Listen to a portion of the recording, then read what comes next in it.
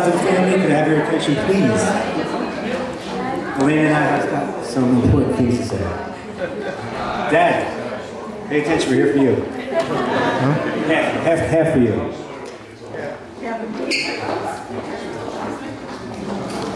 Elena. What? Hold my mic. Hold my mic, I'm older.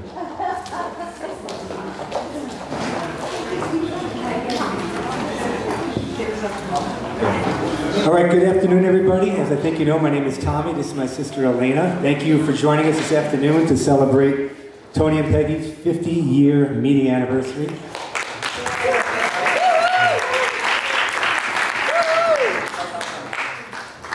Uh, I wanted to start with some basic ground rules and reminders.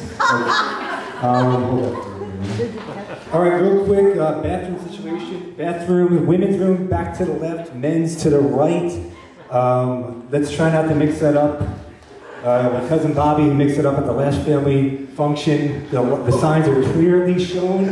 Okay, women's room to the left, I said left, men's room to the right. Okay, uh, a lot of you haven't seen us in a while, so I want to go over some good conversational tips. Um, when you're talking to Elena, okay, when you're talking to Elena, it's okay to talk to her about anything to do with her job, anything to do with her book club, anything to do with the softball team.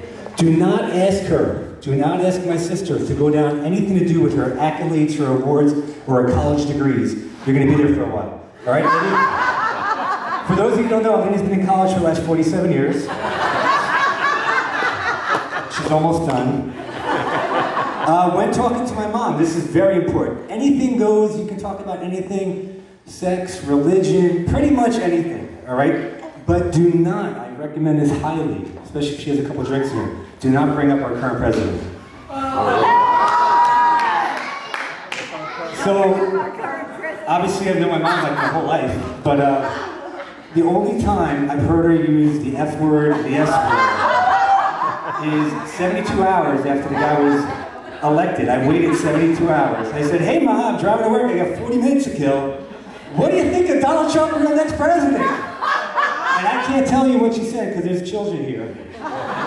But she went on a tirade. I literally could have put her on mute I didn't say a word, she went on a tirade. So when you talk to her, everything else goes all good in the hood, as they say. Just don't talk don't, you want to kill Donald What? Okay, sorry. All right, uh, when talking to Tony, real quickly, pretty much anything goes with that guy, right? You say anything, he's gonna laugh. He's good, whether he's drinking or not, he's fine.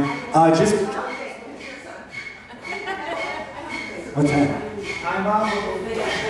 Oh, the fan. Okay. Uh, just when you're talking about his favorite topic, sports, stick to the Yankees. The rest of his favorite teams all suck. The Giants, the Rangers, and Knicks. Stick with the Yankees.